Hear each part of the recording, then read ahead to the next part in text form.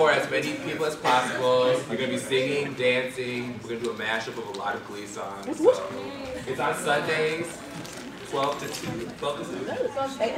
And the auditions will go, you'll sing for us and you'll dance for us, and it's gonna be a lot of fun. So audition.